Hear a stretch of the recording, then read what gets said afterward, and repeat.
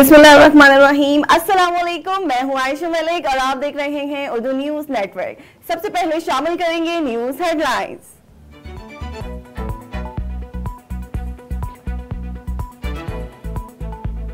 वजी आज़म की तुर्किया में अहम कारोबारी शख्सियात से मुलाकातें। तुर्क कंपनियों को पाकिस्तान में सरमाकारी और मुश्तरका मनसूबों में हिस्सा लेने की दावत दी।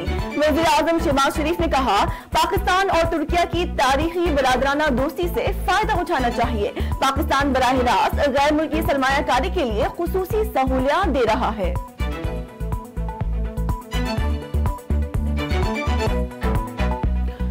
सदर अर्दवान नवाज़ शरीफ और शहबाज शरीफ के दरमियान केमिस्ट्री काबिल ज़िक्र है। वफाकी वजीरत मरियम औरंगज़ेब कहती हैं, पाक तुर्की ताल्लुक में गैर मामूली बेहतरी नवाज़ शरीफ के बतौर वज़ीर आज़म तीसरे दौर में आई दोनों ममालिक के ताल्लुक हमेशा खुशगवार रहे हैं।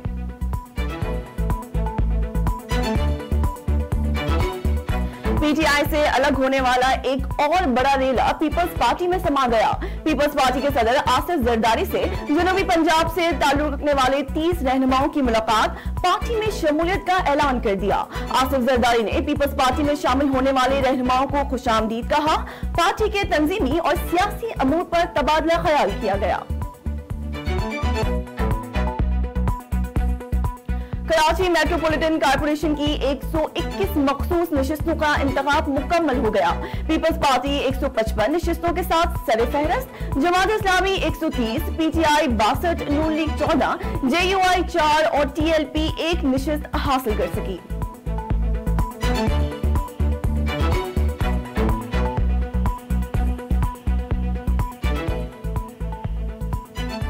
वज़ीर आज़म के मामले खसूसी इरफान कादिर कहते हैं, रियासत जजेस को जवाब दे नहीं अदलिया कानून के सामने सर तस्लीम हम करे। कहा जाता है, पार्लियामेंट कानून बनाने से पहले हमसे मशवरा करे।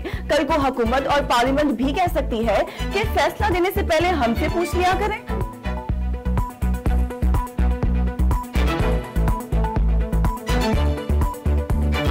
जिना हाउस लाहौर में तोड़फोड़ में शामिल एक और मुजरिम गिरफ़्तार। ताल्लुक सवाद के जिला शांगला से है। 9 मई को चेयरमैन पीटीआई की गिरफ्तारी के बाद जमान पार्क में मंसूबा बनाया गया। फौज के खिलाफ तकरीरें सुनकर मेरी जहन साजी शुरू हो गई थी और इसी वजह से मैंने ये काम किया शरपसंद रईस अहमद का एतराफी बयान।